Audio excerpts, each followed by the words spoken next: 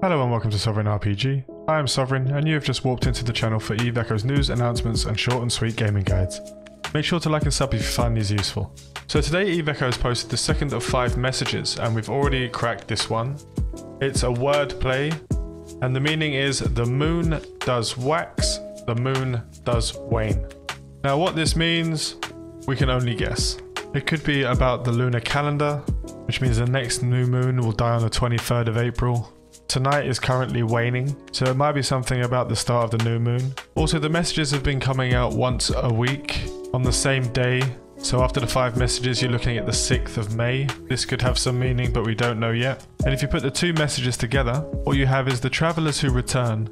The moon does wax, the moon does wane. Which for me means absolutely nothing. We're going to need some more clues in it before we can start figuring this out. If you found anything out yourselves, please let me know down in the comments. We need to figure this one out. And that's all we have for today, just a quick one. If you made it this far, I just want to say that I thank you for sticking with me this long, and if you did, then make sure to like and sub to the channel for future news, announcements, and short and sweet gaming guides in Eve Echoes once it releases. Also guides for Mount and Blade 2 Bannerlord, and many other RPGs in the future. Fly safe.